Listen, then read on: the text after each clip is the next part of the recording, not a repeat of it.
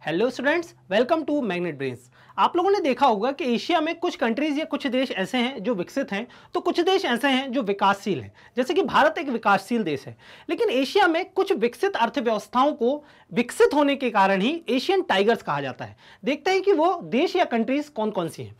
Hong Kong Singapore दक्षिण Korea और Taiwan अत्यधिक विकसित अर्थव्यवस्था होने के कारण एशियन टाइगर्स कहे जाते हैं।